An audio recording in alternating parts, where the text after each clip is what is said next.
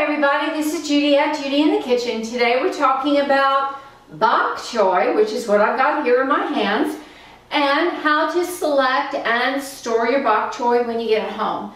When you're shopping for bok choy, you want to find one that's got brightly colored stems to it, a very bright white, and nicely colored leaves to them. You want to avoid any ones that have browning or yellowing leaves or ones that have a lot of holes in them. You know, they've been bug eaten that way.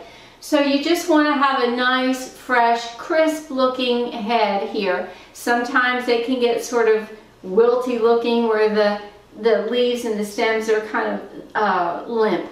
And you want to avoid that because that one's on the dried out side. It's a little bit dehydrated. So you want one that's been well rained on in the grocery store. When you get it home, you want to store it unwashed, preferably loosely wrapped in a plastic or even a paper bag in the crisper drawer of the refrigerator. Um, you want to allow a little bit of airflow in there, but you want to maintain that moisture. It will not keep for a huge amount of time in the refrigerator. Um, generally, you want to use it within three to four days although they might last up to a week depending upon when they were picked and how old it is at the grocery store. Well, I do hope this helps you out. This is Judi at Judi in the Kitchen. Bye for now.